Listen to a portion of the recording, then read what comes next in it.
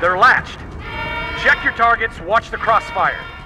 They're in standard formation. Little bastards up front, big ones in back.